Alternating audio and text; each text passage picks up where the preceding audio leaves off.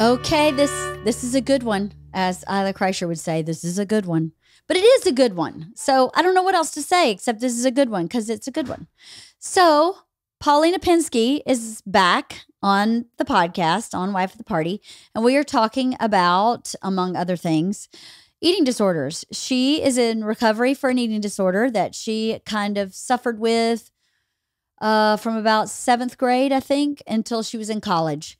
Uh, so brave of her to come and share her story and to share what she's learned through um, going through having an eating disorder. It was such a great conversation. I learned a ton. We define some eating disorders in this uh, episode, and we talk about what she did for treatment, how she reached out for help. Uh, we also talk about what it's like to have Drew as a dad and how that has affected her uh, in life. Bert comes in for a little bit and we talk about how he feels about food. And um, it was just very helpful. She's also running a an artist way uh, workshop and i will put a link to her website on my website wifeotp.com and we are offering one scholarship for her artist way workshop so you can email her her website i believe is paulinapinsky.com you can go there and reach out to her and apply for a scholarship if you're interested in doing an artist way workshop um, she also uh, does some writing coaching if you're looking to write a college essay or write a personal essay. She does some coaching for that as well. So definitely a lovely, uh, thoughtful, dynamic uh, young lady. And I'm very happy to have had her as a guest again. So thank you, Paulina. Thank you uh, for sharing your story. I hope that you enjoy this episode. If you know someone who could use this information, please share it. Um, please share it with anybody you think would be interested. Thanks for coming back every week. Thanks for being a avid listener. I appreciate it. And I hope you enjoy this episode with Paulina Pinsky. Hi. Hello. It's so nice to see you again. It's an honor to be here. Thank you for having me. well, thank you for saying it's an honor. I feel honored. um, I learned so much from your book. I had such a great time talking to you and your dad. Um, I have quoted this book to so many people. I've Oh. given three away. really? I have, Wow. yeah. Uh, it was a great, great conversation. I enjoyed it so much. It was uh, amazing to be here. It was so lovely to meet you. And I'm so honored that the book has resonated with you and that you're giving it to people. That's that's the highest praise you could give. it's like you're giving it out. Like I'm I'm on again, I'm honored. well, it's a great book. It's a great little like tool. It is. Yeah. Yeah, I would say, you know, the writing of the book, um, we did it in six months. Mm. So it was a really quick turnaround. Yep. Um, but I will say that the structure of the book has facilitated conversations between me and my dad that would have never happened otherwise. And that was like a really surprising outcome Yeah. because you know, you walk into this book and you're like, all right, we got to write a consent book. Like, what's that about? And, you know, TCB being the framework, trust, compassion, and boundaries. It's just such a helpful framework for literally all relationships. Mhm. And I feel, you know, since promoting this book and talking about this book, I feel like it's kind of uh made me step up a little bit interpersonally, you know? Really? Yeah. Yeah. That's awesome. It's it's been an unexpected outcome. That's so cool because you know that's such a great lesson in life because Yeah. sometimes not sometimes I think every time you do something monumental writing a book I think inarguably is monumental Yeah. there's so much positive collateral that comes out of that right Definitely. and sometimes you have no idea when you start what that collateral is going to be obviously you know some of it you know it's going to be great experience you're going to have a be a published author yeah. if you weren't already a, I was not. a published author again or Is whatever. okay I make, like 100 this? make Okay. yourself completely at home. I don't, um, no, no pretense here at all. So um, That's why I like it here. I know, no, make yourself at home. But I, I love it when there's like an unexpected gem. That's the best because I think in some ways you appreciate it more. Oh, absolutely. Yeah. Yeah, I mean, so we, we started writing the book in 2019 and we did we finished it like April 2020. Mhm. Um and so we sat on it for a while because like thing we kept pushing back the release or whatever. And so by the time we were promoting it, my brother, he'll come up in this conversation because he actually he helped me prepare for this. Oh, awesome. He's getting a master's in psychology, and so um, he's become very um, therapeutic in his mode of connection. And so he like called me and he was like, "Listen, like." This is a big opportunity and you need to prepare. oh, And it's like the week before, and he's like, What is consent? And I was like, You know, kind of stumbling through my words. And he was like, You need to know what you say in the book Right. because if you're going to promote this book, you got to look like you know your stuff. And I was like, Oh, you're right. Like, I got to pull it together. And so it was very um, centering and focusing for me. Mhm. And sort of the unexpected um, gems of this experience is that I've, I've, I have more freelance writing clients and, you know, like I'm just, I'm doing everything and I'm going with it. And it's just kind of because I never expected to go down the dad route. You Yeah. know, it's like that exists, but I never was like, I'm gonna jump on my dad's train and launch a career off of that. Right. Um, and now that I'm here, I'm like, okay, how do I do this deliberately? Mhm. How I, I had a therapist, um, uh, a non-binary therapist, and they were talking about um for uh, Laurence Fishburne. Do you know who he is? Mhm. Yeah, of course. And essentially, the analogy that we came up with was that I was in my Cowboy Curtis phase. Uh-huh. I was in Pee Wee's Playhouse, like I'm in Dr. Drew's Playhouse, and I'm gonna launch and do the Matrix soon. But we just don't. We have to do the the you know the Cowboy Curtis in the in the Playhouse first. you Totally. know? And so I'm trying to like be my best Cowboy Curtis, Uh huh. so that you know when I do the memoir or whatever it is I'm gonna do, you know, I can have my Matrix. right. Yeah. That's so uh, bright. That's very bright and very wise because I think myself included, when I was young, Yeah. I thought my first thing was going to be major and then I could write my own checks. Yep. And it's so not true.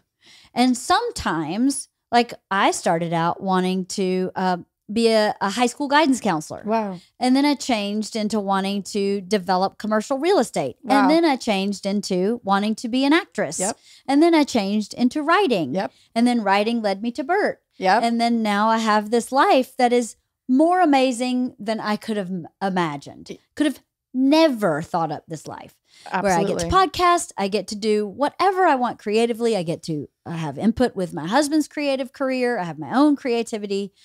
And when I started college to be a high school guidance counselor, none of this podcasting wasn't even big. I mean, come on. We, Yeah. we barely had the internet. right. I had like dial up AOL. That's old I am. Yeah. So to conceptualize this life is impossible. yeah. And I think it's really hard when you're in the moment Yeah. of being Cowboy Curtis yes. to understand this is a stop along the way. Absolutely. That's all and and it is so valuable. So valuable the stops along the way and the pieces that you learn from those stops form you into that matrix person. Absolutely. You couldn't be matrix without Cowboy Curtis. Absolutely not. And uh, you know, it's been interesting because so my fiance has like a, a corporate legal job, Mhm, hates it, miserable time. mhm. So he's going down more traditional path and I'm like not and I think part of that has to do with the fact that I watched my dad's career advance in so many different ways and so I Mhm. understand that like everything is experience, right? Like you know the comedy writing and the MFA and all that it all culminates in this larger thing Mhm. and no experience is moot. And I feel like in this time period it is so possible to make a creative choice, to do something unconventional, Mhm. but it just requires sort of that leap of faith Mhm. to do it. And like for me, obviously, like, you know, jumping into the the Dr. Drew pool, like that's a safe pool to jump in, you know. Um, but I think it's about finding sort of the shallow pools first and then Uh-huh. moving your way to the deep end. Um, and so I don't know. I feel I feel so lucky that to have been part of this project. And I feel like it's been it's been really transformational to talk about all these topics in a public way. Mhm. And um yeah, it's it's been a wild ride, that's for sure. It's been a weird two months. It's only like only been two months. Has it only been two months? Yeah. Oh my Maybe- gosh. it was October 17th when it came out. What? Or sorry, maybe 21st. somewhere around there. Somewhere You're around there. right. Mm-hmm. Gosh, it seems like forever. I know. It does. It seems. I thought you were here in the summer. I don't know why. Because now that you say that, I go, well, yeah, it was just October. It had to be. LA's always warm. Well, I'm so happy for you that Thank this. you. I'm so happy to talk to somebody who has a realistic point of view about life, right? That it's not that exactly what you just said is such a beautiful way. And I hope people who listen, who are your age, can take that to heart because, you know, none of us start out in the deep end. And No. when you do, you usually end up drowning Yes. or struggling. Yes. Or floundering. Burnout bright, you know? Yeah, totally. It's um I don't know, I think longevity is um is an interesting thing because not many people can maintain it in Mhm. certain ways. Um and I I don't know. It's like I've been doing so much stuff with my dad, so I have him as a model, but it's Mhm. like he's evolved with each stage of his career in, in a way that I like I admire where I'm Mm. just like, okay, like it is about kind of doing it project by project and Mhm. always playing to the height of your intelligence and Mm-hmm. you know being uh being open and receptive and empathetic and you know it comes down to the trust compassion and boundaries you know it's it does. it's um It does. it's applicable everywhere yeah, it really is it is. I explained TCB to uh, our daughters. uh-huh And my youngest daughter is so interesting. She's so very bright. They both are, but she she processes things in such a deep way that she changed some of her friendships. I think based on the conversations that we had whoa about TCB because Wow. she started evaluating people and going, I don't actually have that there. I don't have boundaries. I have boundaries that are not respected. yep I, I I don't trust because my boundaries aren't respected. So what am I doing here? yeah I think she took she she took stock of what's what she had and what that meant. She's such an interesting little nugget. Um, when you think she's not listening, she She's comes like- back and she goes, "So I've decided." And I go, "Ah, you decided to take a break from that person? wow, you're only 15." wow that's I- impressive for right? 15 She's 15. I didn't think like that at 15. no me neither I thought about boys, boys, too. and boys. nonstop nonstop That's all I thought about. me too Boys and cheerleading. That was it. yeah figure skating for me yeah There you go. There Yep. you go. So, yes, that that is a great book. Anyway, we've already talked about the book. I am- enough with that. Thing. Not enough, but it's it's never left the spot. By the way, so Really? no, it stays right here. Oh. I don't want to don't want to move it. I'm so I like truly. It's so moving. Like book writing is sort of like my passion. It's what I want to do. I want to write a memoir. As you were saying, like I always imagine the first thing being the memoir, and that's going to launch my whole career. And it's like, no, we got to work towards that. yeah, And this has been one of the most beautiful, enriching experiences I've ever had, and to know that it's touched you and your your family and your friends and everything. It's just it's it's surreal. It's not just me. I'm sure it's not just me. I'm sure it's not just me that it's touched and touched the families. It's, it can't be because it's such a great little toolkit. Um, I um, I admire your dad so much. It must be hard to have a a dad in the spotlight. I think about that a lot with my kids because they're although not the same dad by any stretch, it is a similar spotlight. Mhm. Um, how do you think that affected you when you were younger? Or do you mind if I ask? No, I love. th- Okay. This is like what my memoir is about. It's like about sort of like my proximity to celebrity and the Mhm. ways in which like it shaped shifted over the course of my life. Because when I Mhm. was a kid, my dad was doing like local radio. Mm, Um, and so when I was very little, he was gone a lot because he was, you know, working, you know, seeing 60 patients a day and, Wow. you know, both at like his father's private practice that he inherited and the rehab Las Encinas where he was chief of staff and he was doing rounds at Huntington Hospital. And then he was doing Loveline, uh, 9 p.m. to midnight, five, five or six nights a week. wow, So he was working like, insane hours. like 17 hour days. Mm, And so um when we were really little, the sort of like extent of like the fame was like KROQ would have uh different concerts. So they would have the the Weenie Roast, the Acoustic Christmas, the Inland Invasion, and I think that's it. And we would have to show up and like be there for dad's work. And so mm, the setting of sort of uh, our childhood was like backstage at concerts and Mhm. so like a lot of like you know tattooed tongue piercing people would be like, you know, listen to your father, he's a good man. And I was like, okay, like my entire life, that's like all I ever heard. Right. And so then as we got older, then he started doing more TV and celebrity rehab happened. And then he was out of the house. Like he was always working. So he was always out of the house. Right. And it wasn't until we got to college that it kind of like became um more tangible because like when we were kids it was like oh you're going to the american idol recording or we're going to big brother or whatever and it was like this fun thing Sure. um, but then when he got his HLN gig, I have this very specific memory of production group coming to our house and they were filming like promo stuff. And my parents were like, it's going to be an hour. Like, don't worry about it. It was six hours. Oh my gosh. And they made us do this one bit where they taped up all of the empty boxes in our house and they pulled my mom's like SUV that I drew up, drove up in. and we each had to like load the car, like my brothers and I. It was like, we're empty nesters because we were leaving for college that year. And so, like, I loaded the car and then I walked away. And then Jordan unloaded my boxes and then he loaded his boxes. And then Douglas came and unloaded Jordan's boxes and then loaded his boxes. We spent like an hour and a half on that. Wow. And then it ended when I ended up seeing the promo, it was like a th- like a three second transition, and I was Mm. just like, "Oh, I'm a pawn in this sort of like scheme of like projecting this perfect family, so that dad can be like a date, like a, a you know a nightly news guy, you Sure. know." And so it was sort of this like, "Oh, we're old enough where they're not protecting us from this anymore." Mhm. and now i'm understanding sort of the the expectation that we're like this normal healthy family um, meanwhile i'm like 18 i haven't even come to terms with my eating disorder at all Mhm. um, and so when i went to college that's like the first year that hln the the the dr drew on call show started um, and that sort of just like kind of catapulted him to sort of like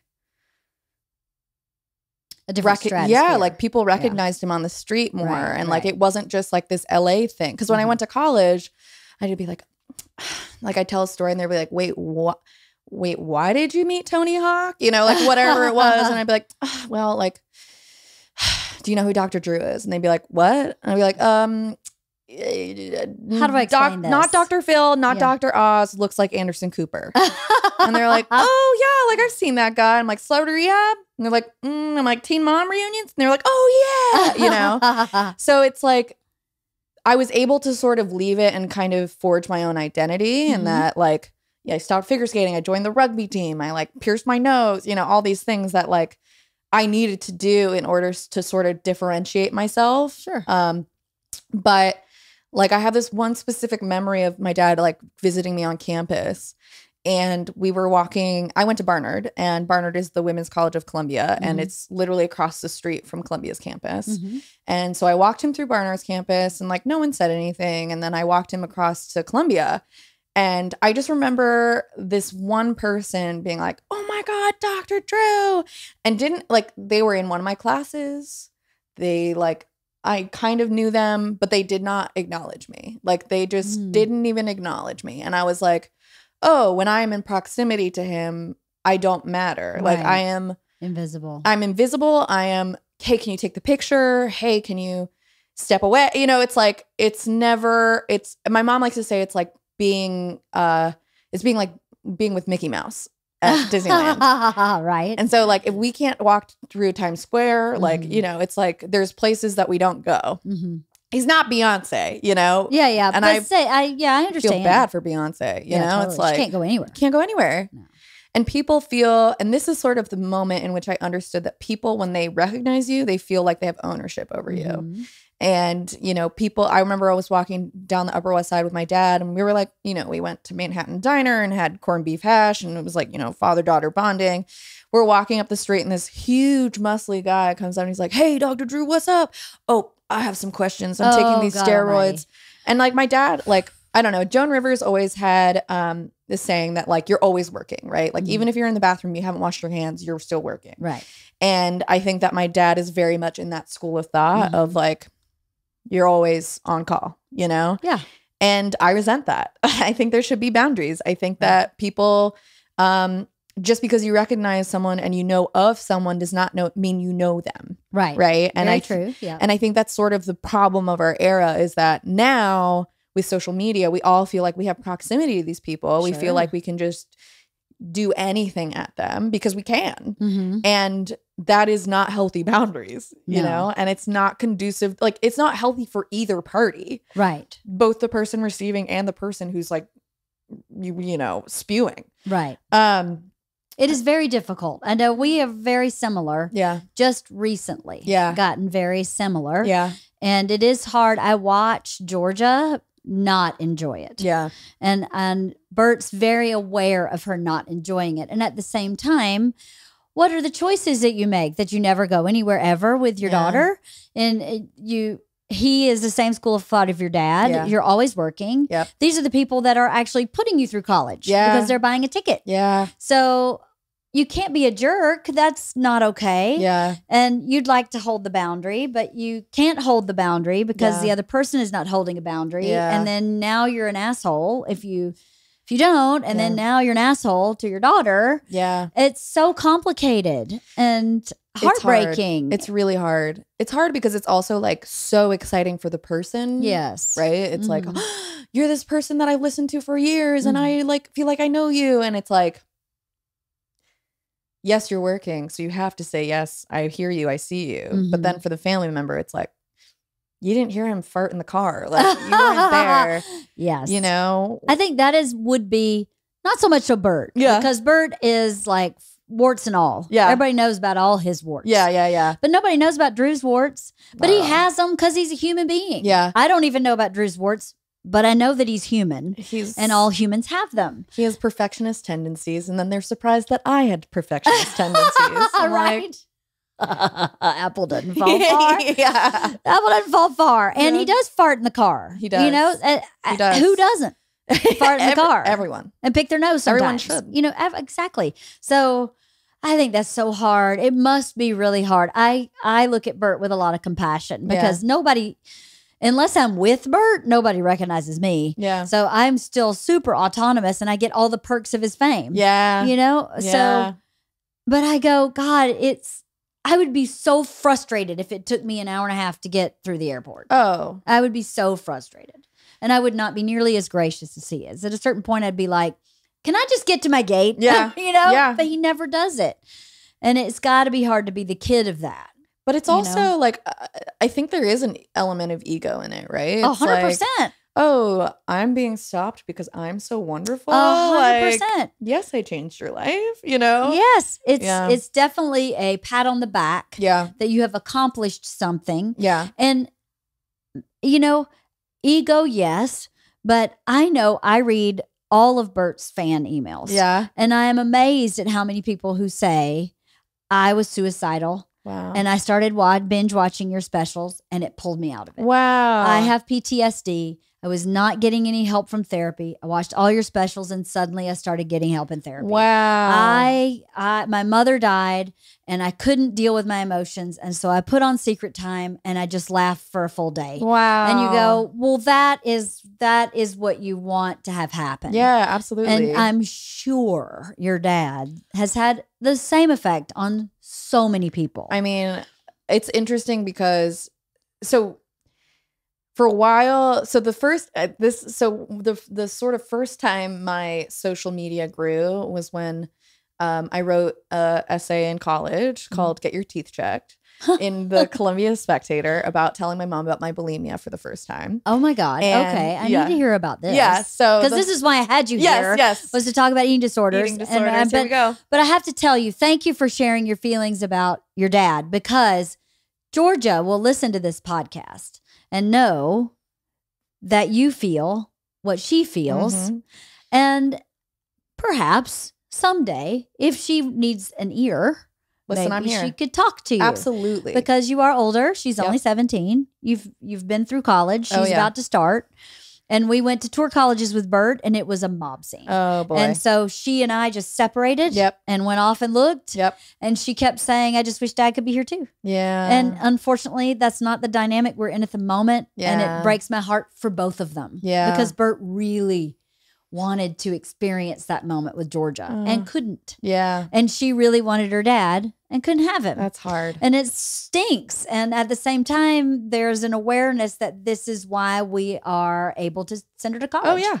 Oh yeah. This is the this is the family business. So thank you for talking about that for a minute. because- Honestly, honor and a privilege. Like I Well- I really think so because I the more I get asked about it, the more important I think it is. And like, you know, there will be the people that are like, this privileged bitch, blah, blah, blah, blah. And of it's like, course, yes, I somebody's always privileged got bitch. something Yes. to say. Somebody always got something to say yeah, about something. Yeah. And it's like, you know, I recognize my privilege. I constantly think about my privilege. I constantly think about like how I can use my privilege to help other people. Sure. um, and also how to dismantle that privilege at the same time. But also, it's like I'm part of this superstructure. Like we are on the spaceship, and like I can't take out a window anymore, you know, or we're all gonna die. Which Totally. maybe is more about my psychology than anything.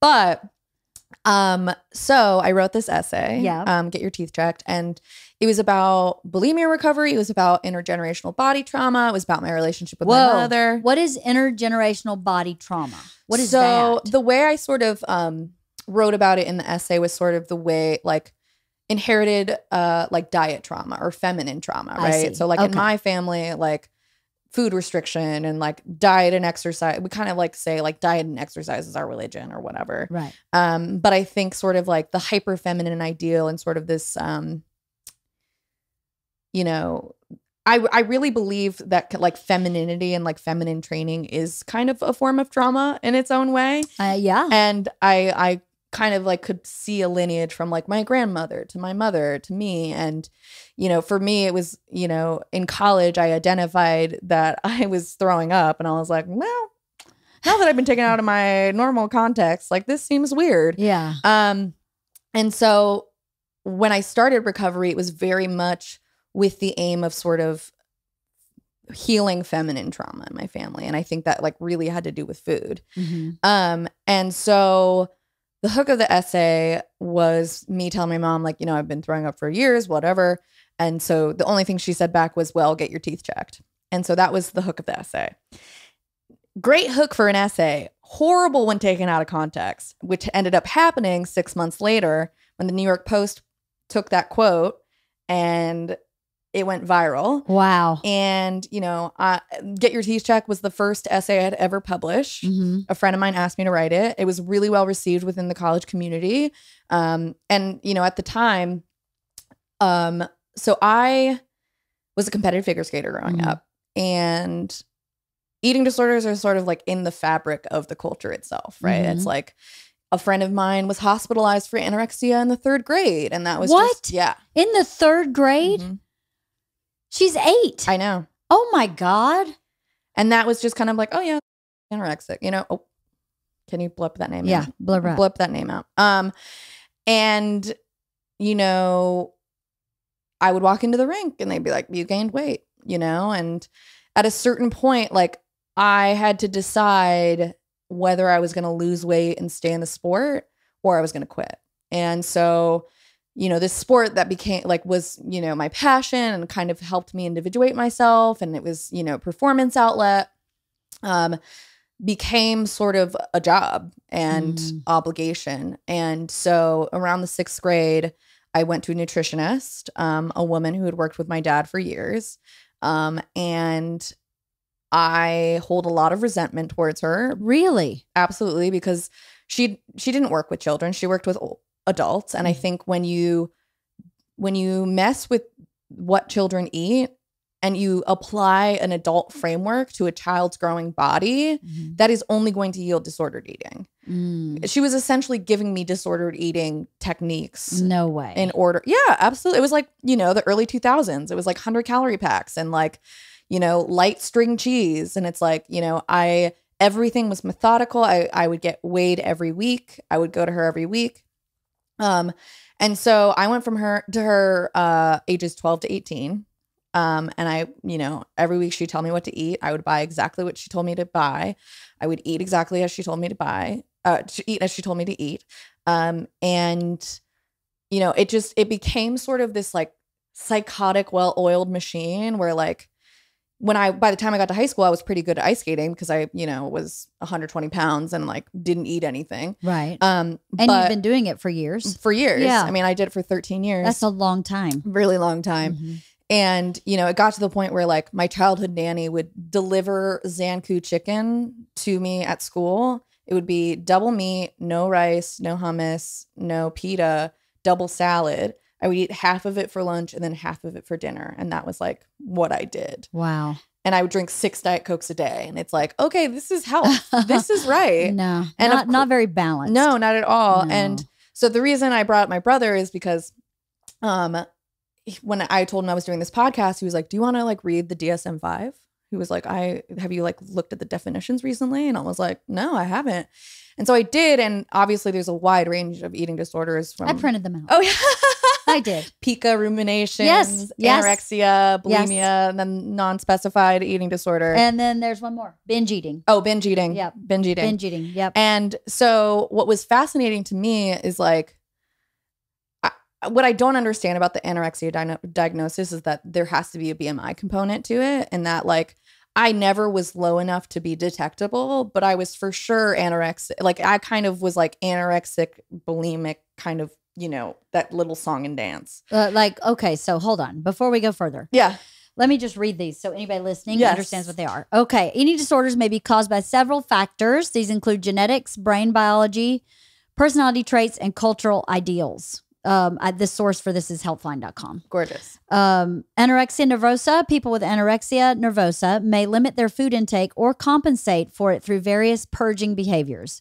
They have an intense fear of gaining weight, even when severely underweight. Mhm. So that's what you had. So for a lot of um, sort of treatment centers, they will not accept you unless you're under a certain BMI. Are you kidding? Yeah. And then if you gain the weight back back, they're like, okay, you can go. That does not make sense It's not good. at all. No. That's like majority of eating disorder treatment that I've heard about. That does not even, that seems egregious. I know it is.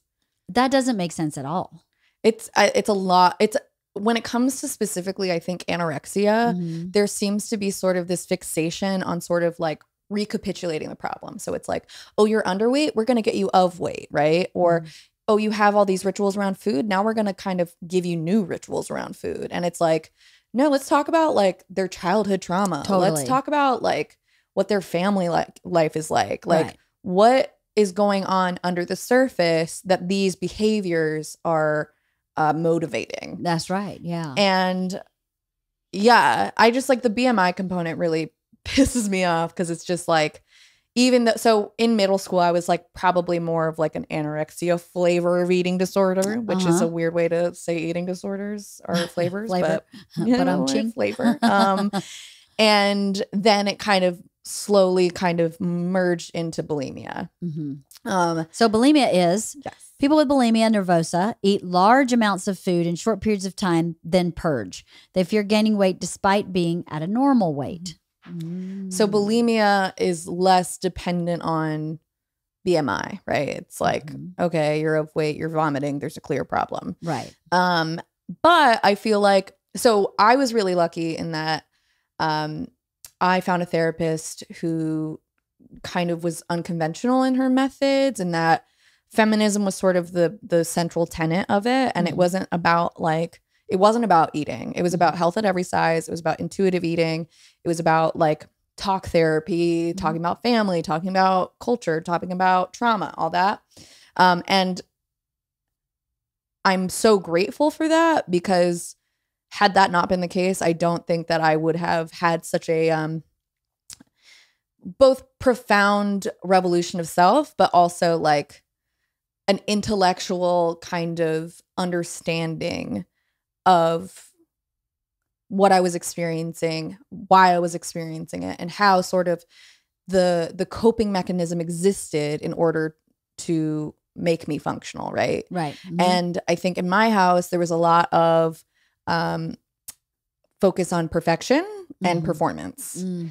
And you know, I was going to a really intense, you know, college prep school and I was on the cheer team and I was on the dance and I was ice skating and I was the co-president of the girls service like I was doing everything sort of in the model of my father. Right. I was trying to do it all. do it all like he Mhm. does. 17 hour workday.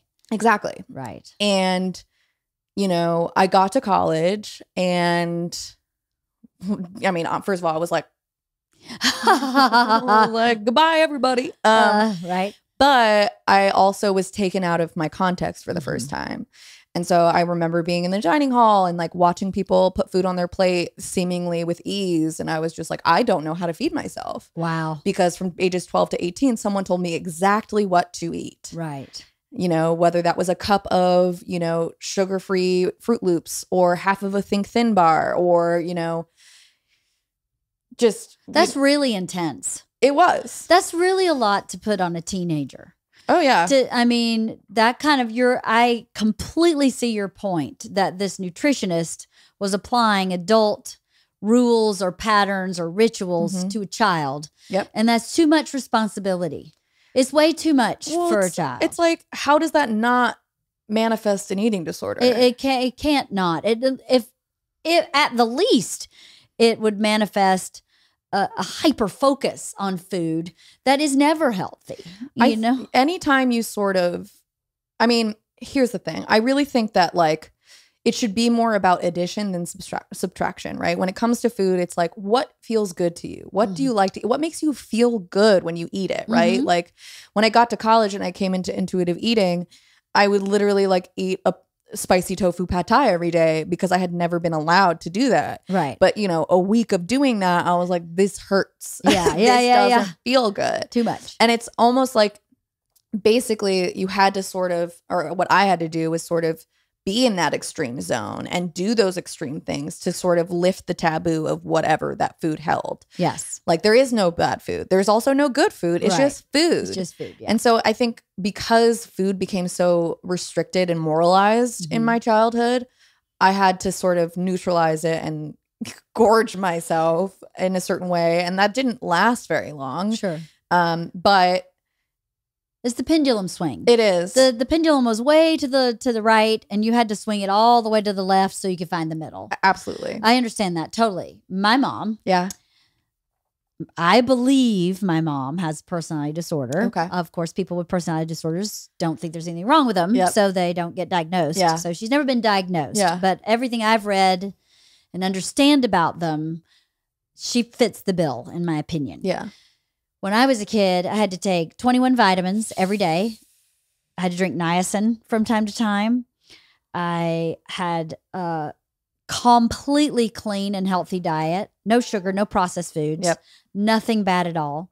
And then I would go, my parents were divorced. I'd go to my dad's house. We would like in the car stop at McDonald's and then stop at a convenience store and load up on every form of sugar known to man Yep. and eat like shit the whole weekend Yep. and then go back into this highly regimented, highly regulated food, vitamin, supplement, meditation pattern. Wow. And I never developed an eating disorder.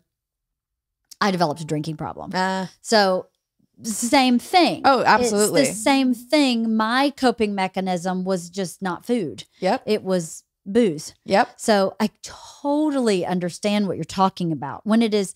And I was seven when that started. Wow. From seven to 13. And at 13, I moved back with my dad and then just ate like shit constantly yeah. because I could. Yeah. Uh, but that high regulation, that intensity that's put on food and nutrition, and it's just not good. It's too much for a kid's little psyche. Well, it, it just can't. Pro- he wants. We're talking about eating disorders? He- Oh, yeah, we are. Austin. Turn me on, Austin. he asked me if he could crash our podcast, and I completely forgot that until he just walked in the door, or I would have. Okay. So I would have. Uh, I would have warned you. No, I no, totally no. I forgot. like a surprise. So what's the difference between an eating disorder and a diet?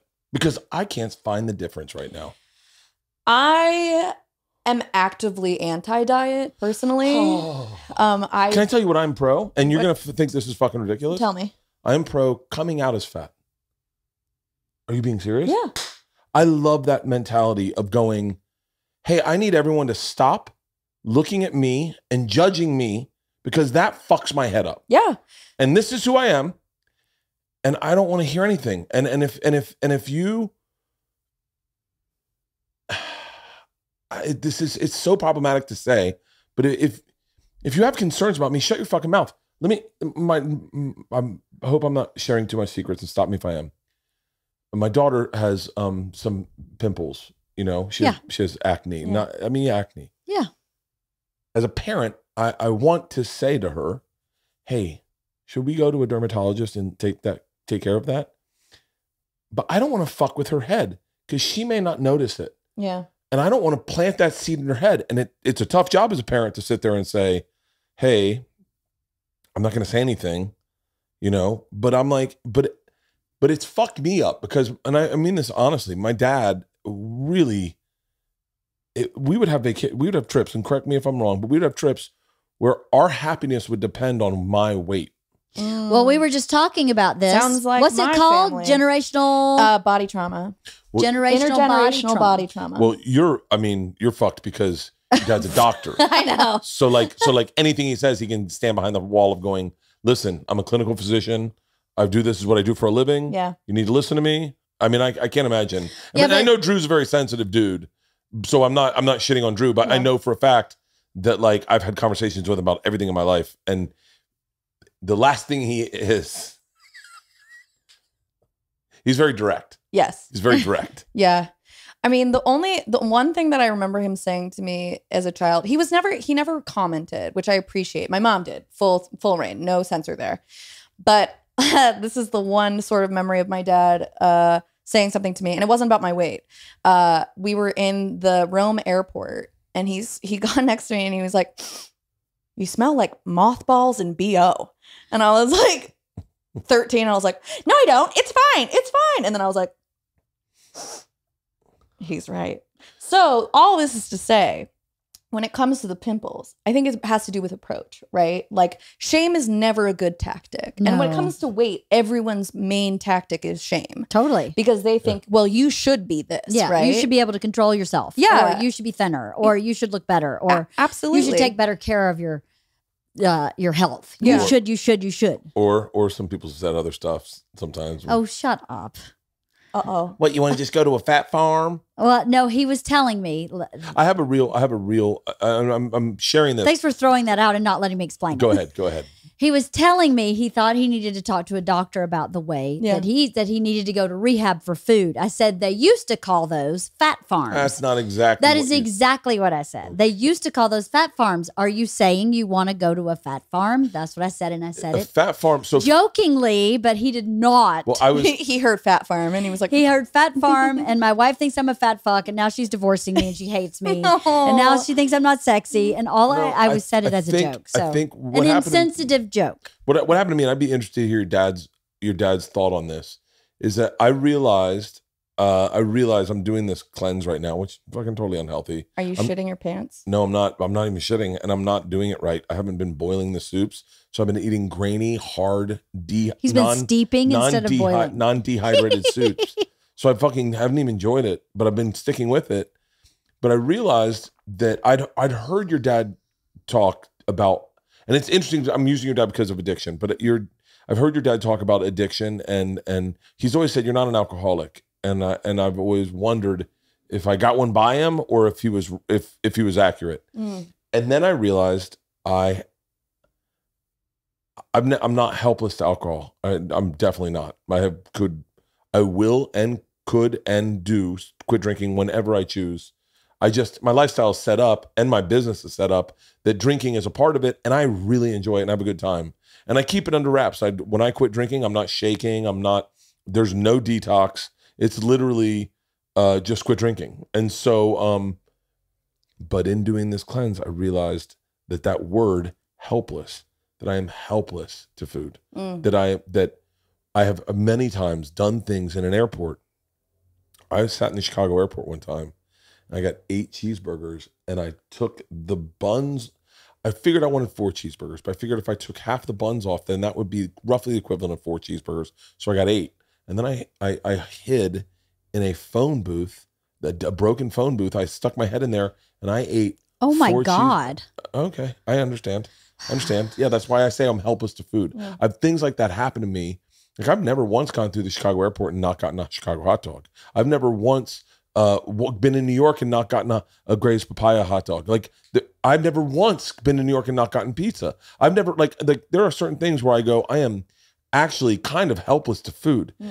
And and it may be LeeAnn saying that right now it may be where my brain is with how much I'm working Yeah. and that this is a, a, a like a, an outlet. hmm I, there are times like I'll wake up from a nap and if I get a nap, I want sugar. I've eaten four candy bars and then I'm just like, I feel sick. What did I do? Yeah. I have no control over it. And so I was sharing that with her and I was saying, oh my God, like the, the dialogue I've always heard about addiction is first step, admit you are, you're, hel- you're helpless. Yeah. And I was like, oh my God, that's what's going on with me and food. Like we had, we had uh, a, a woman, a woman, uh, Chef Antonia.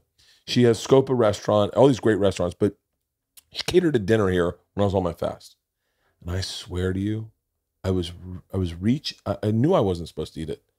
I would find my hand just reach to get a bite, and I couldn't stop it. It would just reach. I go, "What are you doing?" Like, Well, weren't you restricting to the point of starving? Like, yeah, yeah, roughly seven hundred calories yeah. a day. See, when you restrict, the obvious, you know, sort of repercussion of that is gorging, right? Because your body is starving, and so your brain is saying, "I need to get as much as possible, so that the next time I starve, I will survive."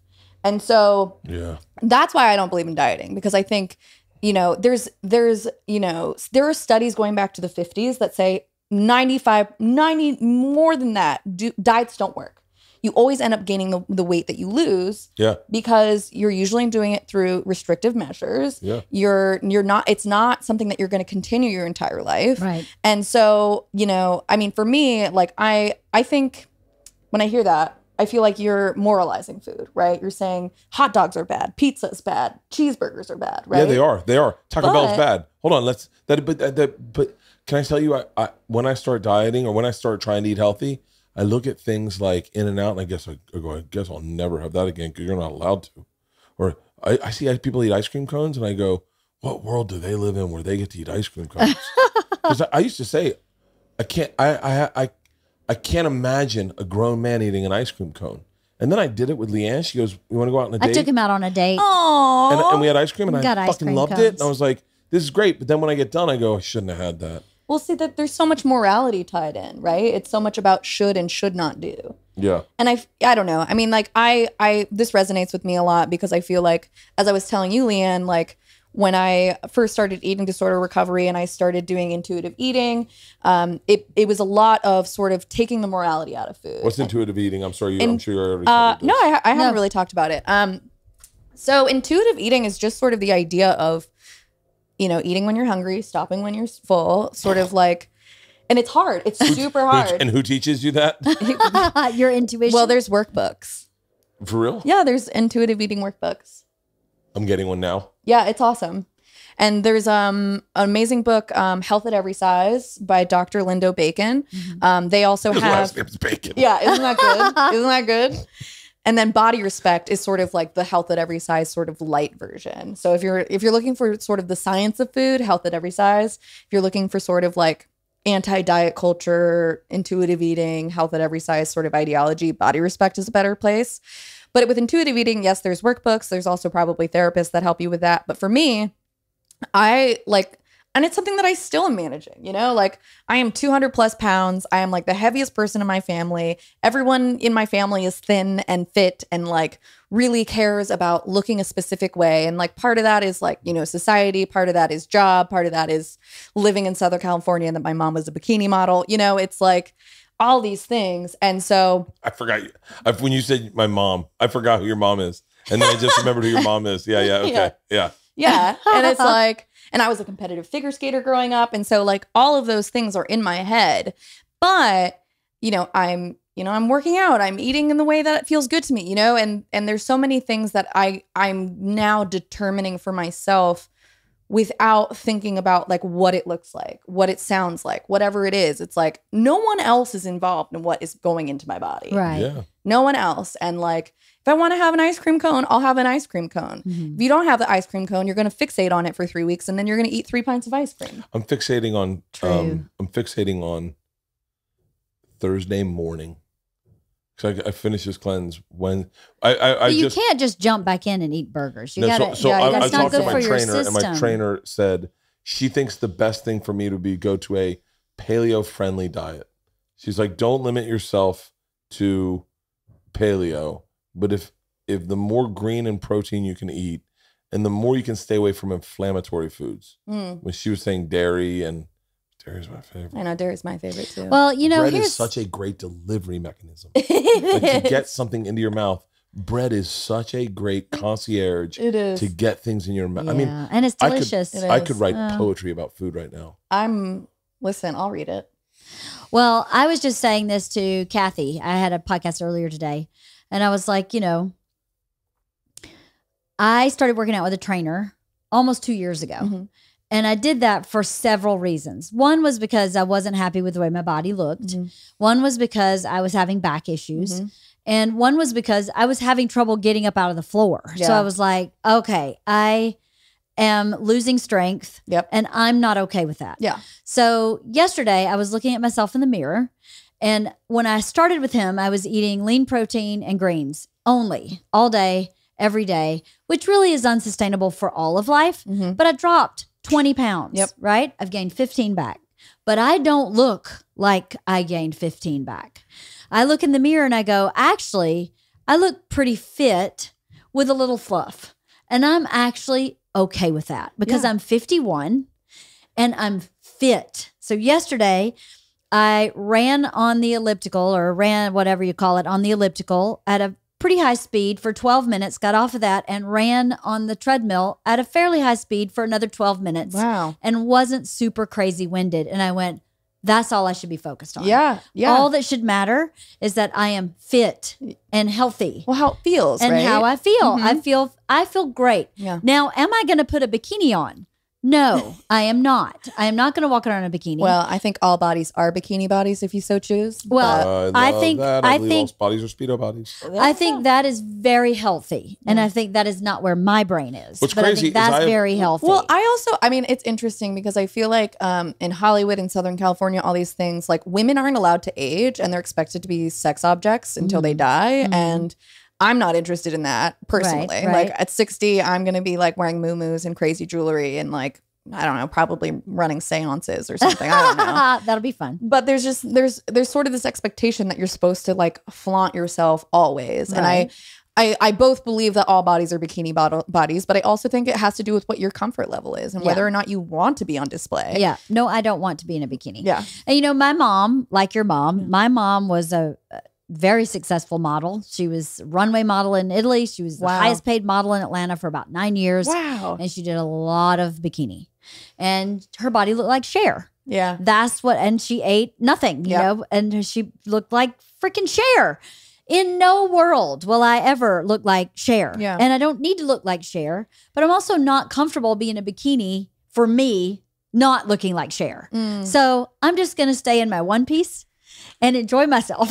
well, it's interesting. Like you kind of raise an interesting point that I think about all the time, where it's like we have sort of these models of what we're supposed to look like. Yes. And like because of the proliferation of social media and plastic surgery, Mm-hmm. we can now actually sculpt ourselves into looking like that person. right. And so what we're seeing is sort of a homogenization of aesthetic where everyone everyone has a Brazilian butt lift. Everybody has lip fillers. Everybody's got cheek, cheek implants. Right. 10 years from now, it's going to be the exact opposite. totally. Totally. And it's it's it's both like I, I guess it could be seen as sort of this liberating thing of like, oh, I can shape my body into looking like that. But I think what's more radical and exciting is accepting who you are, what Yeah. you look like, what Right. makes you unique and an an individual. And I'm hoping that I don't know. I mean, obviously we're in Southern California, which is sort of like the Kardashian empire and all that, but I I really believe that the the way out of this is sort of um, you know, individuating ourselves rather than homogenizing ourselves. right. ourselves. I agree. And I She think- she can't watch uh 1883, the new uh Yellowstone spinoff.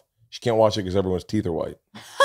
They're white and they're perfect. Who Yeah. in 1883 had No. perfect white teeth? No so one. she's like, Nobody. it's, it's, uh, and they're yeah. so perfect and white that they don't even look real like today. No. And so I was like, and now I can't believe any of this plot. Like I can't believe any of the story. You've totally pulled me out of it. Yeah. And what actor and actress are you going to get that have screwed up teeth. Yep. It's really hard Not in find. Why wouldn't LA. they- why wouldn't they scuff up their teeth a little bit? You can put like stuff on your teeth to make it look at least yellowed. I mean, I could buy the straight if they were at least they are like neon white. Oh my god. They're like a reflector. And That- I'm like, I'm totally out. I'm totally out. But um I, we got off track. We are talking about eating disorders. Eating So disorders. I have a question Yeah. for you. What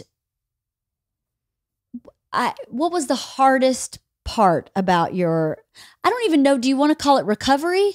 Because I have a, here's my thought. Yeah. Okay. Tell me. I think different people have different processes with trauma Mhm. and with addiction. And I think even though I don't know anything about eating disorders, but to me, some of it is ritualistic, like an addiction can Mhm. be, right? So they have hints of the same. Obviously, they're not the same. And I am under no illusion that I understand the differences and the sames. But for me, a layman looking at them, I go, oh, I see. They're both coping mechanisms for trauma. Absolutely. So for me, when like I'd mentioned before Bert came, I coped with trauma with alcohol. Mhm. I drank way too I drank to the point where I lost my hair and my liver had become enlarged. Mm. wow. And I was that kind of drinker. I was drinking. yeah. I quit drinking when I was 21 because I'd started That's drinking huge. at 14.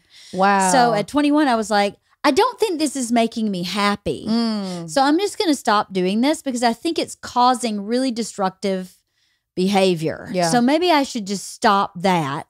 But I was still so tumultuous that I had to go to therapy to figure out what was causing the turmoil, right? Mhm. And then unravel that. And then alcohol had completely different meaning in my life. Yep. I drink, how often do I drink? Maybe one glass of wine a week.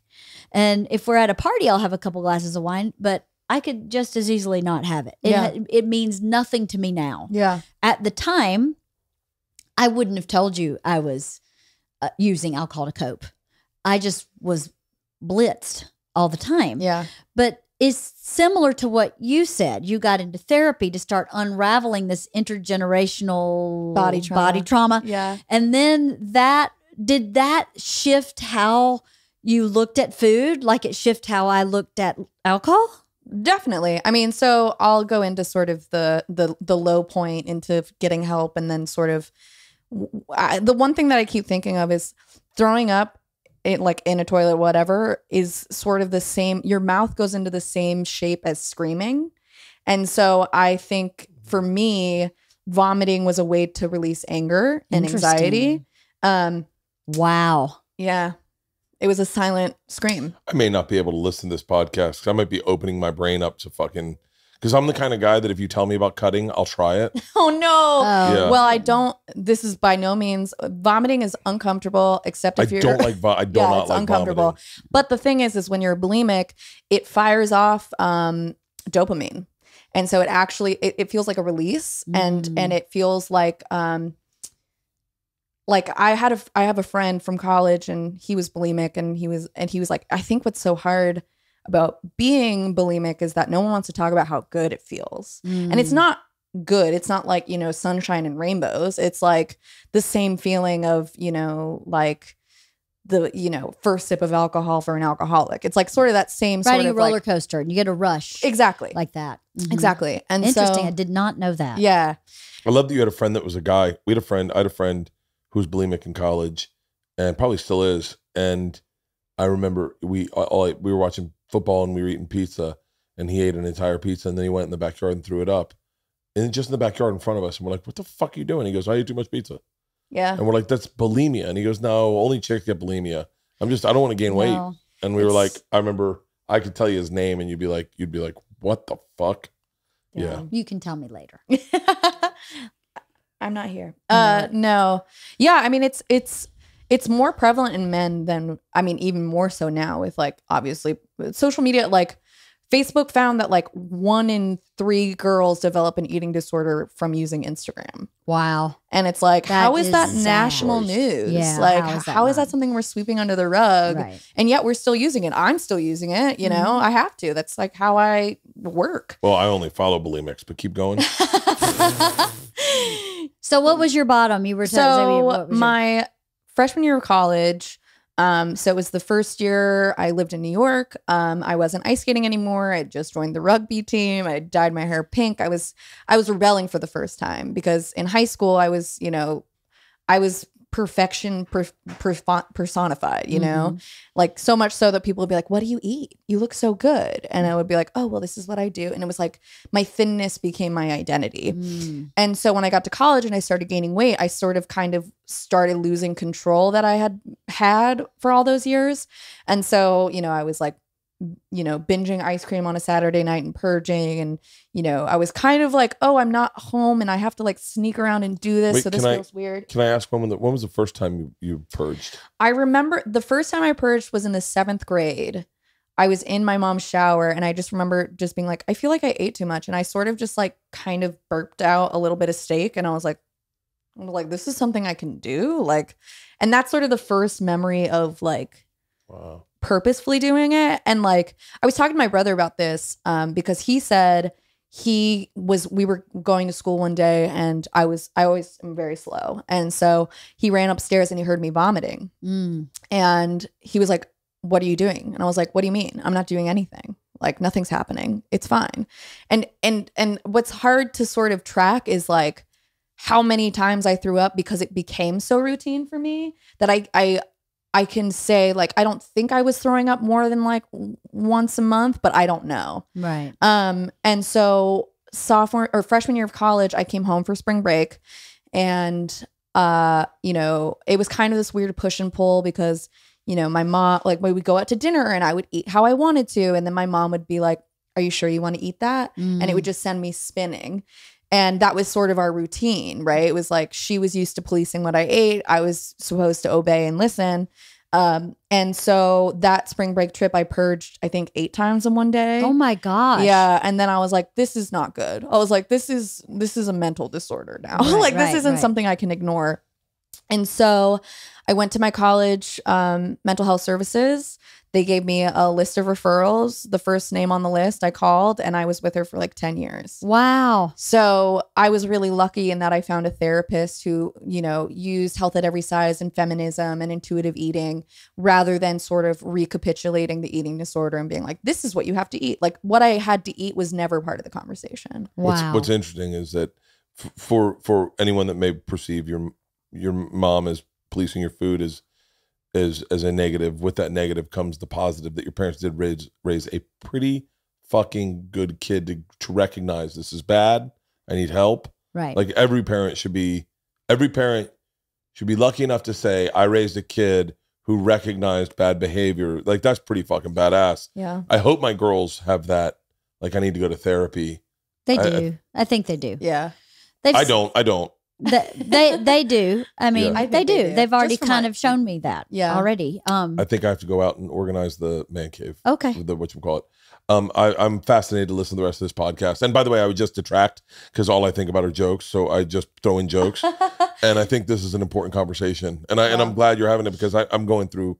I don't know what I'm going through right now, but I think you're going through a great deal of stress and that you're managing it by eating and you're feeling out of control in a lot of areas and and your eating is reflecting that. You're just eating in a bit of an out of control manner. So some I think you know sometimes babe you get very ungrounded.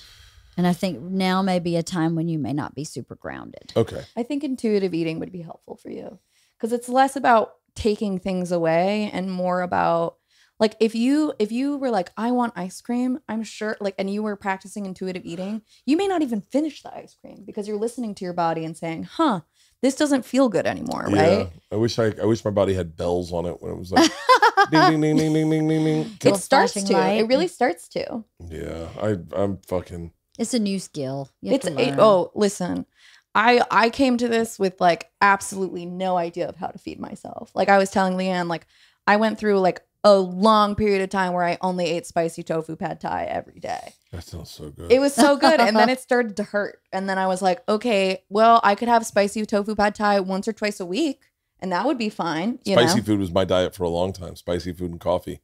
Just Ooh, that's a shit. esophagitis nation. I I, have still have I, I by the have way, esophagitis. what's this, what is what's that? It's um basically my my esophagus is inflamed.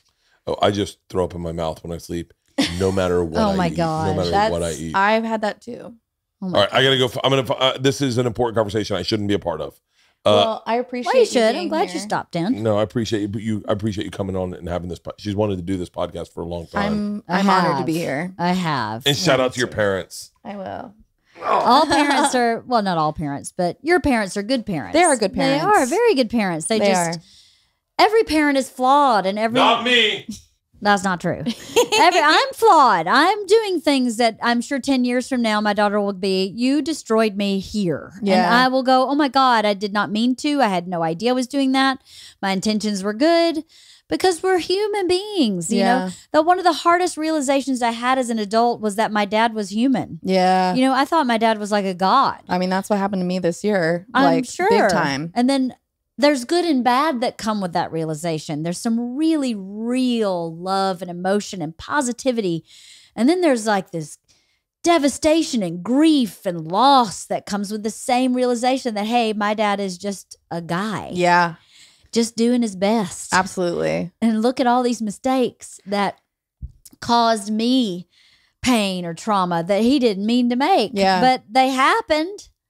And what are you gonna do? Stop loving him? No. You it's just such a such a hard transition and shift that I think a lot of people don't talk about. And maybe some people don't go through it, but I definitely did with my oh, dad. Oh yeah. I mean, my dad getting canceled this year was like a really weird experience. I can only imagine. It was big time. It was Yeah. weird. It was like I I like I'm both like I don't know. It showed me so much about how how people view celebrity and what happens when people turn. And like I'm just sort of of the belief that like if there's a possibility that they will turn, they will always turn. Like hundred percent, yeah. and, you know, it was such a like people were coming for me. like this one person who is a substitute teacher in North Carolina. Uh he started messaging me on Twitter being like your father's a piece of shit and if you believe anything he says you're just as crazy as he is and then the next message would be like I'm so sorry your father's a lunatic and then the next one would be like watch your inheritance disappear and I was like dude what? I'm like? I believe COVID's coming. I've been locked in my apartment for 2 weeks. Like right? come on, man. I'm a I, come on. And so it's it's you just can't engage with people sometimes when when someone has that extreme a reaction to someone yeah, someone especially that don't even know yeah, and there's no way that everybody has every fact of every word that anybody ever said or every action ever taken and if someone ever makes a misstep these days one small misstep Yep. and you're dead forever and it's unfair it's unfair because people who aren't celebrity don't do that no, you know, if No. your neighbor made a misstep, you would not condemn them forever. yeah. You would not do that. Well, so yeah, these people, Drew is a person who has Yeah. done so many good things for the world. yeah. And I don't even know, I, I heard about the canceling, but I don't even really understand or know what it was for because it he didn't was make just sense wrong. He me. was wrong about COVID, you know, and he has been hanging out with a lot of Fox guys, and so he was getting kind of like preachy, and people were reacting to it, Right, and it's right. like. Okay, yeah, you can react to it, but like, don't bring me into it. That's No, not no. like that's my that's my dad, but I'm not responsible for that. Mm-mm. Um, and you know, it's like if I could do something, I would, totally. but I can't. totally. Um, So let me ask you this. yeah, I've had a couple of guests on this podcast who who told me they had eating disorders. Uh, one was still kind of fresh. Mhm. The other one, she's my age, and she had one when she was a teenager, and drew the line directly to trauma. And I asked them both to talk about it, and neither of them would talk about it. Why?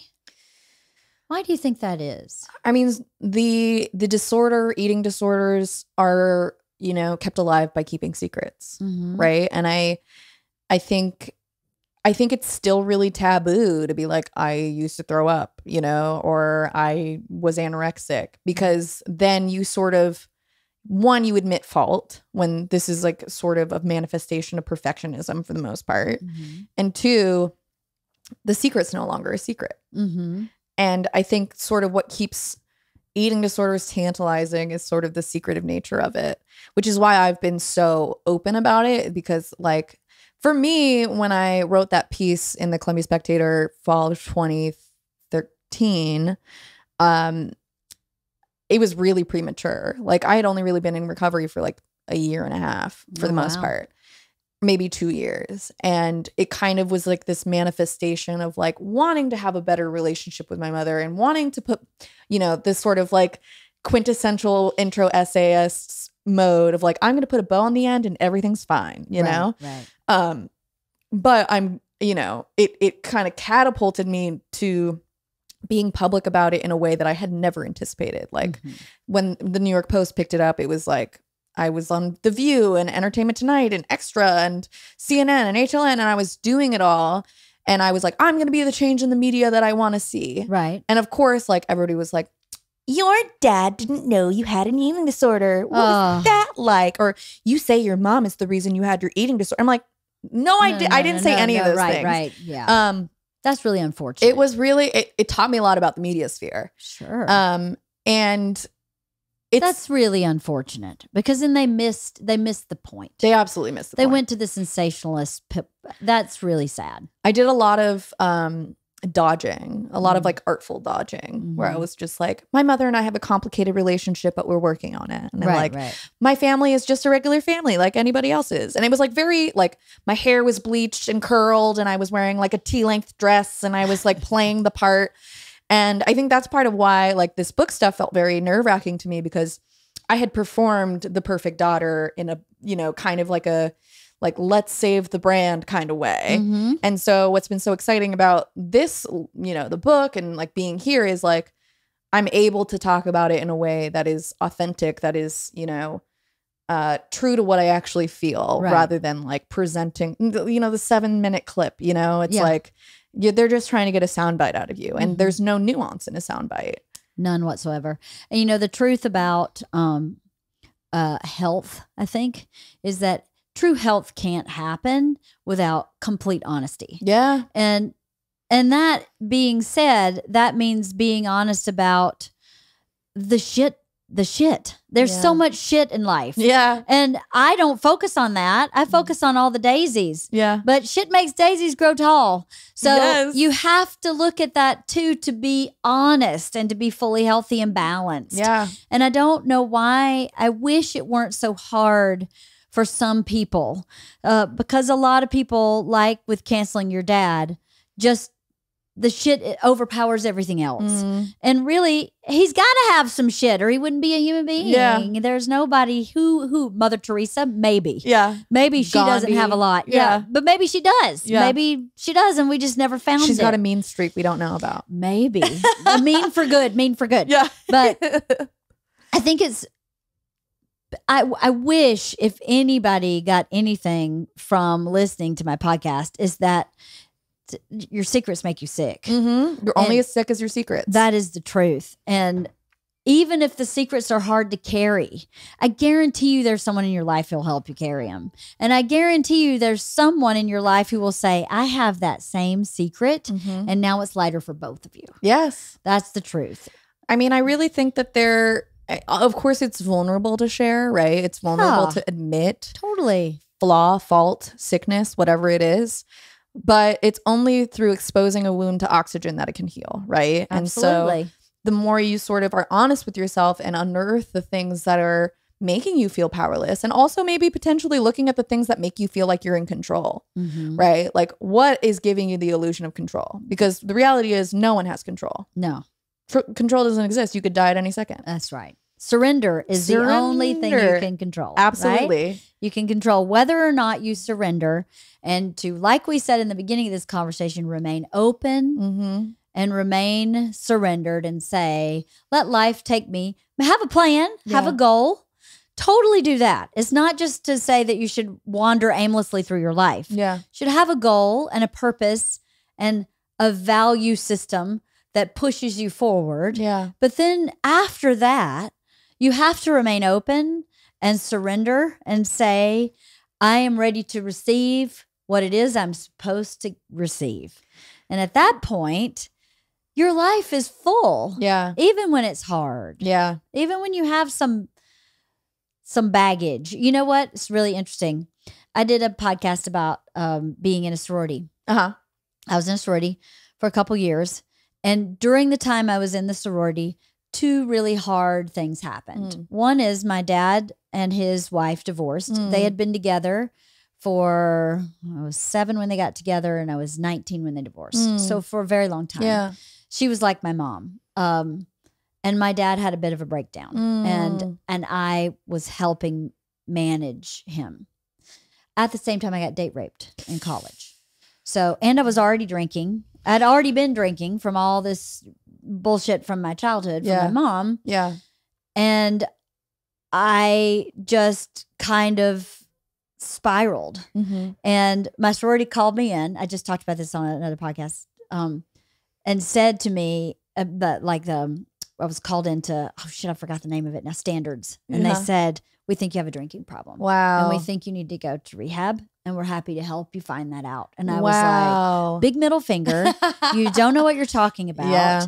And I ended up leaving school Wow. and I left school, uh, went to another school, but I left my group of friends because the trauma was too hard to bear. Yeah. And I, and since I did that episode, I've had so many of my sorority sisters message me and say, "We had no idea this was going on. We wish we had known. Wow. We would have loved to have helped you. We would have held you up. We would have held your hand. We would have done all these things, and I believe they would have." Yeah. But your secrets that they're so unhealthy. And of course i didn't want anybody to know that had happened to me. And of course i didn't want anybody to know i couldn't handle my dad. Yeah. i couldn't handle my dad. I was 19 Yeah, and he was how could you? it was an upheaval for him. Yeah. and on top of everything else it was really nice to know it was nice to hear from them that even today they I, I, they care and they cared then too and i don't think people It- think about that It's hard to recognize care when you're in your own illness. you are right that's so beautifully said because I mean, if someone had sat me down and been like, "You're bulimic," I would have been like, "No, I'm not." What? do you- Yeah. I mean, my brother did. Mm. My brother found me vomiting and was like, "What are you doing?" And I was like, "I'm not doing anything. Right. Nothing's happening." Right?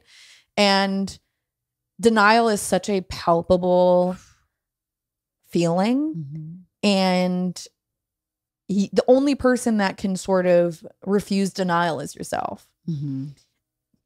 Oh, almost choked on my spit. oh my goodness that must Old have meant something I felt that. I was like, "Oh God." Uh, you're right. Denial is very powerful. I have to tell you something though. If they had never called me in and they had never said, We think you have a problem, down the line, I'm not sure I would have said, Huh, I think I have a problem. Mm, so it's it planted the seed. I think it did. I think that was extremely important. And even though I couldn't bear it, I couldn't bear to stay in that group because I was ashamed. yeah. I think I was ashamed of Well, also, everything. There was no, I mean, I'm assuming no conversation about assault either. no.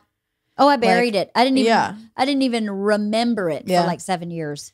And then it came back like poof. I mean, it com- it lives in your body. It does. It lived totally in my body. And it came back when I had a baby. really? Yes. And then I remember now why I brought this up. It came back today. When I Mm. got the messages from my friends, Wow. I sat in my closet and cried for about 20 minutes. Wow. And in the crying, I thought, this is about the trauma. This is not about today. This is super old. This was all very old. Shame. but you needed to feel it. You Yeah. needed to express it. It You was all to- shame. All of it. All the tears were shame. And you think you're done. You Yeah. Know? That I was 19. I'm 51. Yeah. You think you're done. But I It's never done. always try to stay open. Yeah. And so when those messages came in, in staying open, I had this emotion and I just surrendered to it. And when I'm going to go in the closet, just cry it out. And let's feel all these nasty feelings Yeah. and get them out so that I can, I don't want them in my body. Yeah. Um, but that open and surrender is just it's the key to everything. It really is. I, so in my early 20s, I started experiencing like debilitating migraines. you did. Oh, horrible. Like once had a week long migraine. It was like after the solar flare, and I'm positive that the solar flare call it caused my. Oh my gosh. it was intense, but like so much so that like one time like half my body went limp and I like felt marble going up my neck and then I had to be hospitalized and I like thank God my mom was in town. And so she was able to like come to the hospital and like sort of like be like hey nurses what are you doing? My daughter needs help you know? And Yeah. like I was so glad that she was there to advocate for me. Um but the one thing that really helped my migraines was um cranial sacral therapy Mm. which is sort of it's not reiki but it's sort of like light touch slash energy healing Mhm. where essentially like I would lay on this woman's table and she would lightly like put her hands on the bottom of my heel and I would tense up thinking, "Oh, this is a ballet teacher who's going to pull my leg over my head, right?" And it was like, "Oh, uh, ice skating is trauma." like yeah. I went through extreme training and pushing and all these things and that mm-hmm. still lives in my body. And so over the course of like 6 months I sort of learned how to rather than sort of letting emotions getting trapped in my body and then leading to you know anger in my head and like it's the same thing of like throwing up is the same thing as screaming it's like what did i do look i had no longer had that release Mhm. it was all pent up in my body Mm. and so, you know, she would put her hand sort of at the base of my skull and I would like feel like sort of release and, you know, some like she would kind of have me talk. And I just remember this one session where it kind of all clicked to me where I felt the emotions sort of run their course through my body and allowing them to do that. And now I don't really have migraines. That's crazy, isn't it? I had migraines too, and Reiki took care of it. Really? I did Reiki, yeah, for six months. Um, he was a guy who did massage and Reiki together. Wow. So he would get in a part of my body and Yep. just work it with massage, and then just start pulling stuff. Wow. Reiki's amazing. I mean, people think it's like voodoo or whatever, Yeah. but I could feel energy being pulled out of my body. It's the most bizarre. I've never gone to see any other Reiki person because I'm afraid they won't be as good as he Yeah. Well, once you find someone good, you can't, you can't But he's in up. Florida. he's too far away. I can't go see him. No. But yeah, it changed my life. I went to him because I had headaches. yeah. And I walked in the door and he went, Ooh, you have really bad headaches. Never even talked to me. And a psychic sent me to him. How crazy is that? I went into this, I went to this Halloween party and they had psychics there as Yeah. like the favor, party favor. And I walked in her tent and she went, You have really bad headaches. And I went, I do. She And could she- feel it. She said, You have a really bad relationship with your mother. And I went, I do. And she said, wrote this guy's name down and said, I think this guy can help you. Wow. She never even called him. I called him, walked in the door, and he said, You have really bad headaches. And he looked at my body and he goes, You have some serious issues with your mother. And I went, I do. And he goes, I think I can help you. But if you start walking this path, you can't go back. wow. So you got to choose. Are you going to walk this path? May change everything. You may lose everybody in your life. yeah. But it's the only path to health. Wow. So you got to make a choice. And I was like, I choose health. And it changed my life. have you read The Dance of Anger? No. It's an amazing book. I, uh, the the author is escaping me, but it's basically about like sort of um, feminine rage and the ways in which it's stored in the body because women aren't allowed to express it, Uh huh. and so it's like kind of like I, I read it years ago, but I highly recommend it. It's Okay. a great book, um, and it just headaches is one of those manifestations of anger living in the body. Did not know that. Okay, I have headaches once a month now. What are you angry about? Girl, Where should we start? where do we start? I have a lot of anger from I have a lot of old anger. And I have some new anger. Yeah. But um you know, I grew up not in an articulate household. Mm. So no one hit me like I was no one was physical with me. I got spanked like everybody else that grew up in the 70s, Mhm. but I was not abused physically ever. Yeah. But I also wasn't taught how to express myself with words. Mm. And I'm a very high energy person. So once I got into college, I started fist fighting. Really? That's how I got my anger out because Wow. I did not even know I needed a word. Maybe even started in high school. So if I got angry, I hit people and then they hit me back. Sometimes boys never really hit me back. yeah. But I would hit boys, and I got to be at a certain at a certain age, and in therapy, I realized I had so much anger, I could not contain it, Yeah. and I was not taught to express it verbally. Mm-hmm. So I had to learn as an adult Yep. because my dad would get angry and he'd just break shit. yeah. he would never touch me. He'd go in the yard away from me Yeah. and break shit. And I'd go, Well, that's what you do. Yeah. You just break shit. My mom would destroy the room. Wow. No so you were doing what you were taught. I was doing totally what was modeled.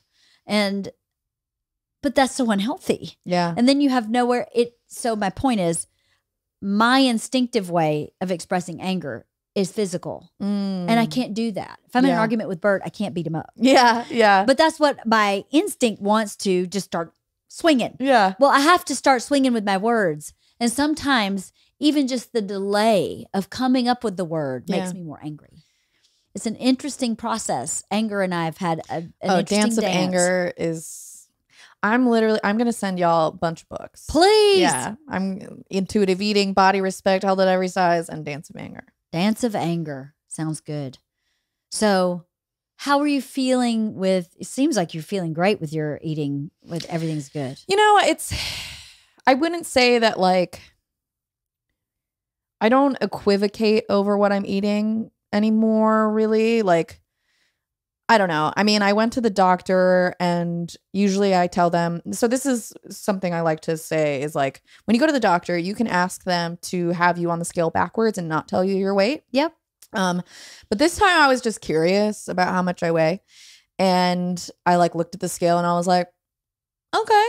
And it was like the first time that I like heard my weight that didn't like spiral me and like, you know, make me feel like, you know, I was a bad person or whatever. And I'm quite easily the heaviest I've ever been. Mm. And so that was sort of like an exciting moment for me where it was just like, oh, I really do believe that I uh, like I can have health at every size, you know? Sure. Like I work out with a trainer, I like I try to eat fruits and vegetables and sort of um a framework that one of my writing students actually introduced to me was sort of um and I'm going to sort of butcher it, but it's sort of thinking about the frequency of food.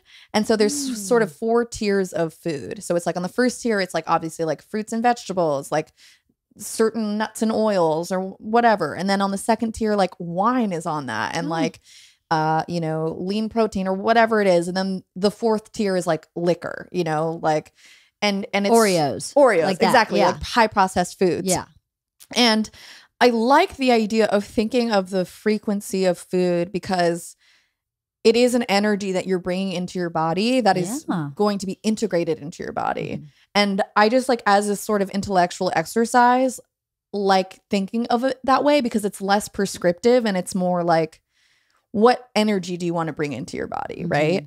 And that has been helpful framework for me, though, like, you know, it's been the holidays. I've been doing whatever, you know, Right. but As we all have. as we all have. Yeah. And and you know what's been really beautiful is like there's been no sort of like shame or morality or whatever. It's like I got twisted on Thanksgiving and it was great. Yeah, you know, that's it was like- awesome. it was good.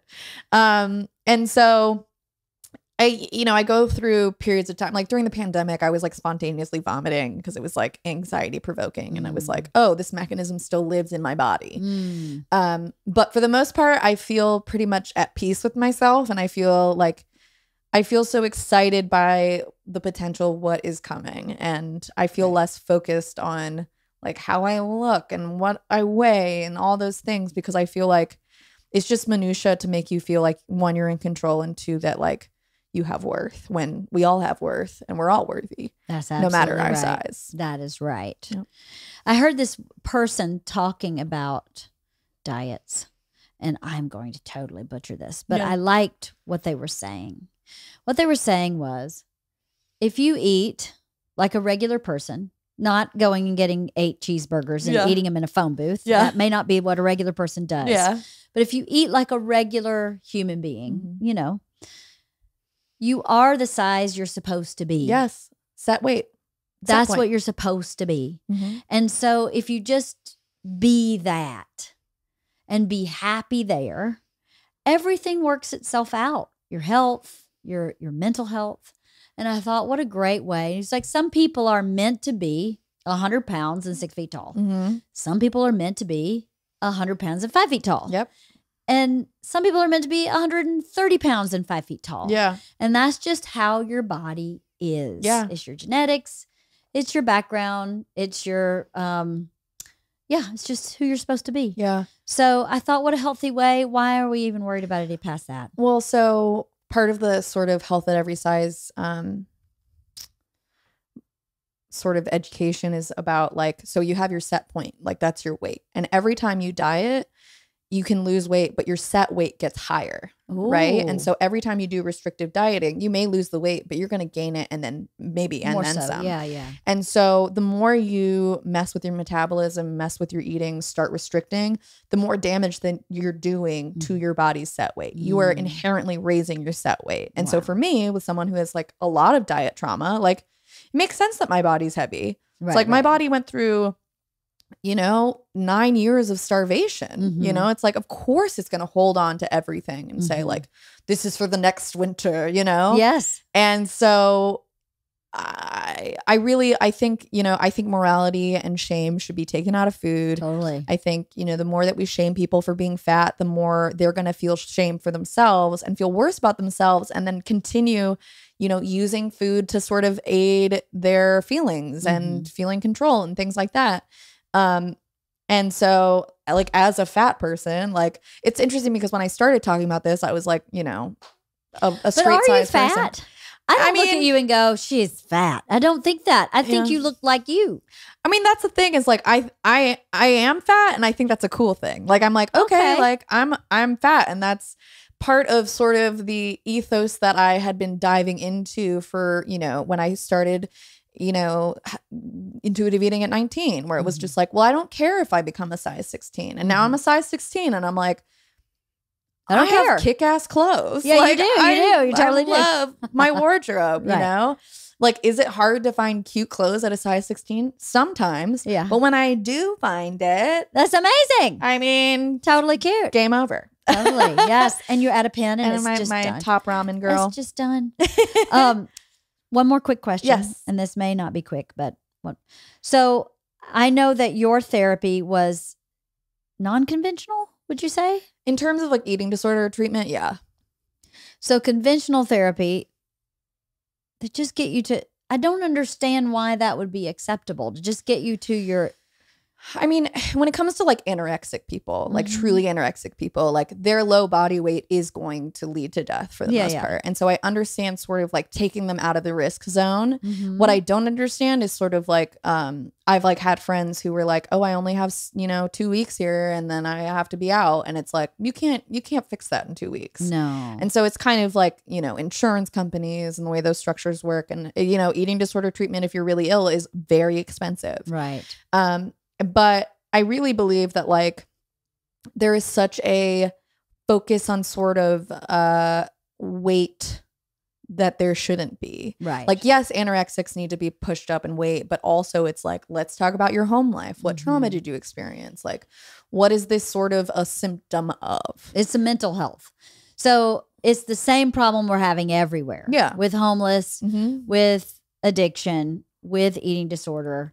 It's all Band-Aid. at the bottom is mental health. Oh, absolutely. Trauma, mental health. Yeah, Absolutely. Totally. And it's, you know, I think what I love about you saying, like, you know, it's sort of, um, it's the same hurt, it's a different manifestation. So for me, it was vomiting. For you, it was booze, you Right, know? And it's like, it's the same sort of impulse to Mhm. either release anxiety, pain, fear, mm, anger, Mhm. or to feel a sense of control. Mhm. And as I said before, there's just no one has control.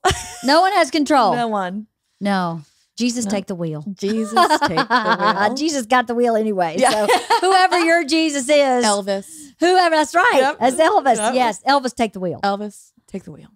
Well, anything else you want to say on this subject or any Um, subject at all? Because I could talk to you all day I know long. this has been so wonderful. I love talking to you. I agree. I It's love talking to you too. So wonderful. and as soon as you leave, I'm texting your parents. Like last time, I was like, "She is the most amazing young lady. I just love her so much. She's amazing." I will be doing that again well, because you are so highly of you. They Well, really do. That's very sweet. I think very highly of both of your Yeah. parents. They're I- both good people. they are, and Yeah. I feel like I know them individually. Yeah. like I don't. I know them more individually than as a couple. Yeah, Um, and they're both really great people. they and are. really giving and very. They're just wonderful people. But um, Yeah, I, I mean, I guess my final comment would be, you know, if you are struggling, if you're in the midst, you are in the grip of anorexia, bulimia, binge eating, pica, rumination, you know, eating disorder non-specified, um, get help. Tell someone, right? Whether that's your mom or your dog or your best friend. Like just practice saying it out loud um, because the more you hold it in, the more you're hurting yourself. Mm. And, you know, it's, you don't have to live this way.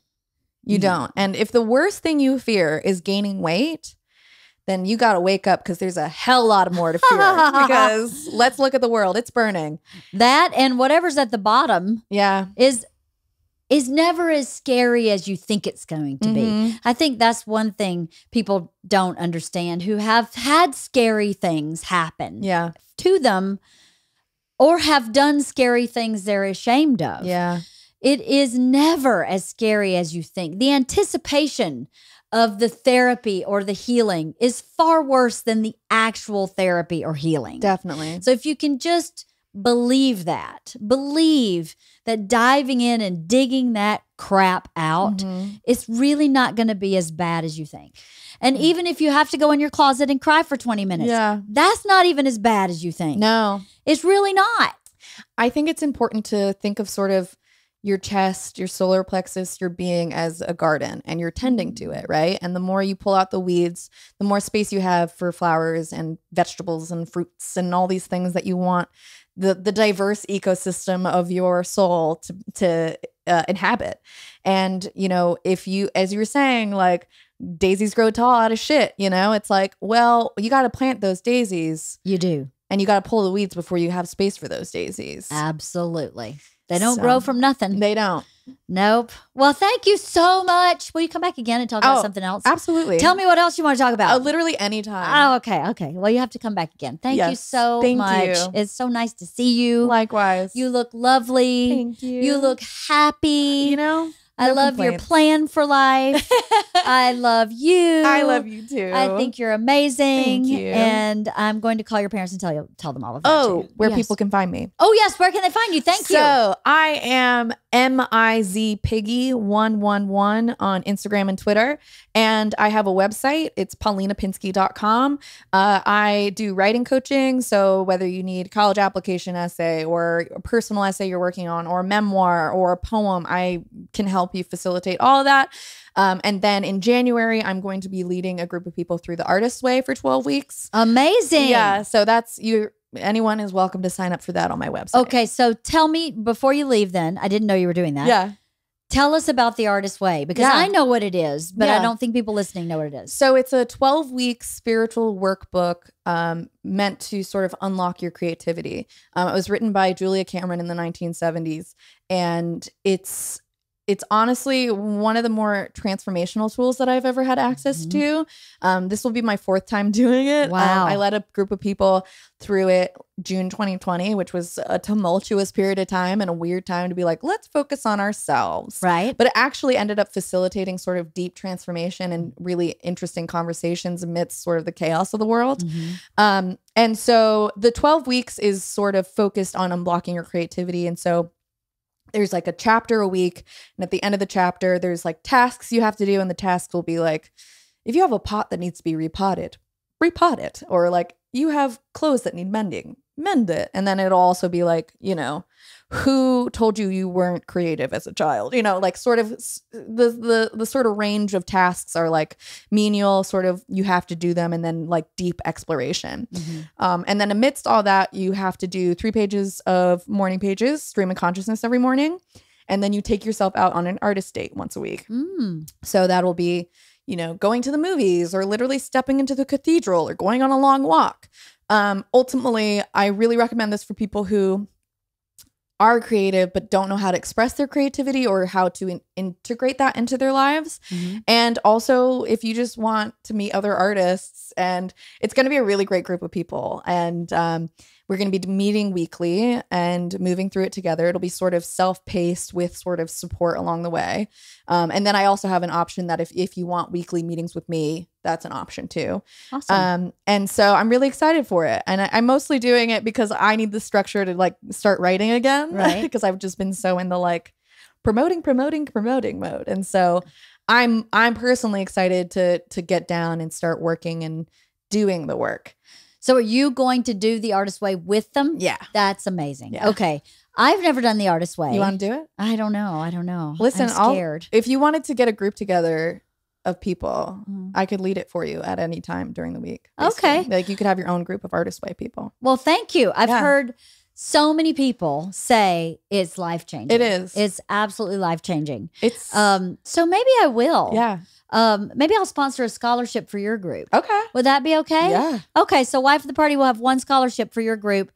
And then you can determine who gets that scholarship. I don't know how you'll determine that, but I'll take Um, applications. yeah, take applications. And where would they send those applications? What Um, do you think? send it through my website. Okay. Just say that you're applying for the Wife of the Party scholarship, and I will um, come up with a little pool, and I'll pick somebody. Awesome. And then I'll maybe I'll just maybe I'll join the pool too. We'll see. We'll see. I'll go on your website and check it out. Sounds good. I'm so glad. That's really awesome. That'll be really great. I'm Such excited. a transformative program. And you're a great person, I bet, to run it. You know, I, bet try. You know. well, thank you, Paulina, so much for coming back on. Thank you so much for having me. Thank you for talking about this subject too.